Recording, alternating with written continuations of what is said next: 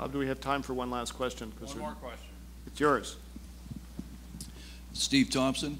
Uh, It was a great presentation, Gary. I congratulate you. Um, The most important thing, at least to me in your presentation, and it was uh, very well said again, is the inability to test the equipment on partial load conditions.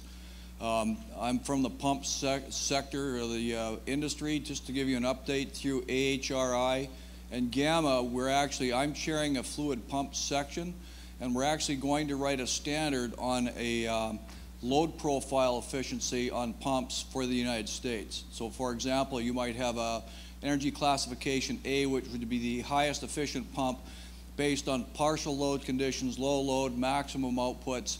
The next step after that would be to take that efficiency standard and go to the Energy Star people and say, here's what we have. So what we have to do, and it's, it's, it's in its infancy right now, but we're writing a test procedure, um, getting all that done. So there are parts of the industry that are actually looking at that, writing that partial load condition efficiency standard, because right now there's no way to measure it. And the only way uh, people like Energy Vermont can do a um, uh, incentive program is to take two buildings and make one efficient and leave one the way it was and run it for a year and test it and report those results. And that's not necessarily the best way to do it. So I commend you both for your your vision on understanding that that's the challenge the industry's got, and this is partial load thing. And don't believe the efficiencies that a lot of us manufacturers uh, will tell you because it's under ideal conditions. So congratulations. Thank you all very much. And You've been E- great. Evgeny, who's done research on this, has, has developed the standard uh, for integrated mechanical systems in Canada, will be here and part of the panel we're doing on combi systems. So, because the Canadians have addressed a standard that looks at um, partial load conditions. Thank you all very much. Thank you, Gary and Linda. Uh, There are products from American companies on the market today with multiple heat exchangers, so you don't have that, that cross-contamination issue. They also have, uh, can do, have a solar assist in the water heater.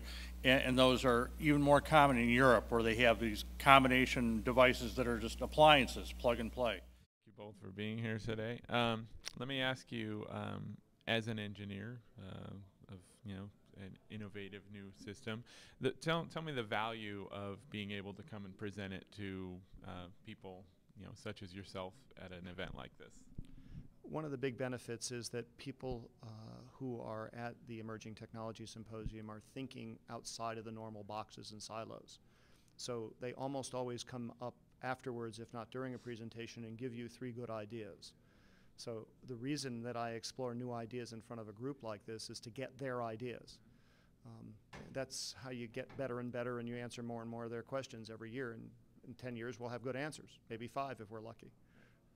It's just a great way to find out who shares the same interests and the same passions. And it's amazing, I think, how many things have started by effective conferences bringing people together and get, providing a forum to throw out ideas and get the, you know, the people that are all passionate to sort of end up moving on key issues.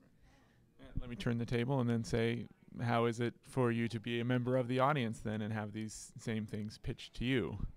Uh, it- again, it's the same thought. It, it, it makes me think about things I wouldn't normally think about.